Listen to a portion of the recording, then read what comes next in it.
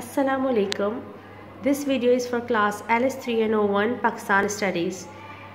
Today we have discussed chapter number 12 Population and Employment.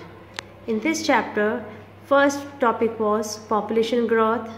Then we had discussed the reason for high population growth and what are the ways to reduce it. Then we discussed population growth and economic development. Here few points are written over there. We just have to discuss all those points and then we made a note in our notebooks. Jazakallah khair.